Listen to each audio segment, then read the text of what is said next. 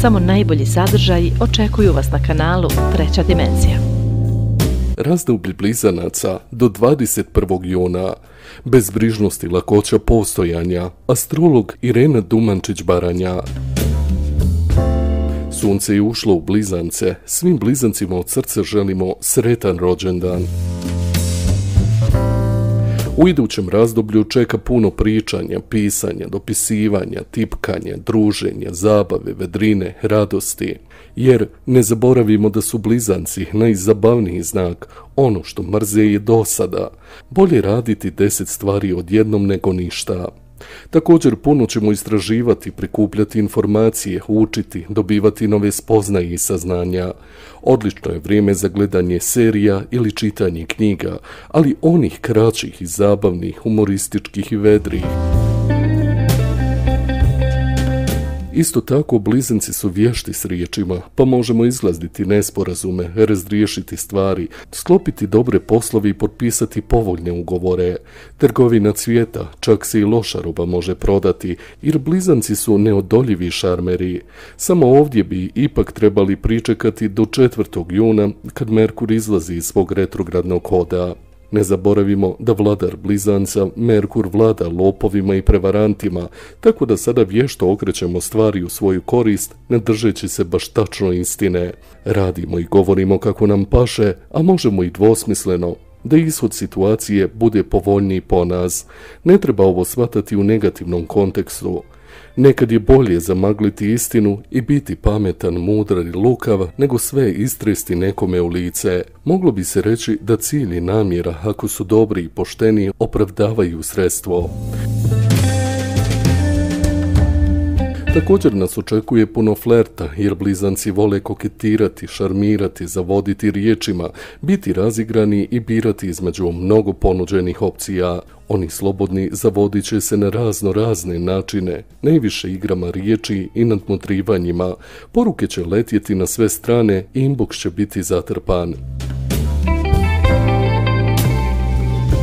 Ovo je znak koji ne trpi dosadu, potrebna im je stalna simulacija i pokretljivost, izleti, aktivan odmor, istraživanje mjesta na kojem nismo bili. U ezoterijskom smislu zvijezde blizanci sastoji se od dva brata, od kojih je jedan smrtan, a drugi besmrtan, što predstavlja dualnost, podsjećajući nas na naš smrtni dio, fizičko tijelo, ego i besmrtni dio, dušu, više ja. Blizanci su znak gdje je rođena svijest, dualnost. U svijesti jedinstva nema dualnosti jer je sve jedno. Dualnost se rađa preko racionalnog uma koji blizanci vladaju. Racionalni um kategorizira stvari na yin yang, dobro loše, lijepo ružno, ugodno neugodno, dan noć, muško žensko, pošteno nepošteno, pravedno nepravedno i tako dalje zaboravljajući na iluzornost takve kategorizacije. Znak blizanca znao se predstavljati likom mladića i djevojke, jer se dualnost blizanca očituje i u principu anime i animusa. Anima je ženski princip u muškarcu, a animus je muški princip u ženi. Svakoj individui potreban je i jedan i drugi princip kako bi mogla funkcionisati u materijalnom svijetu.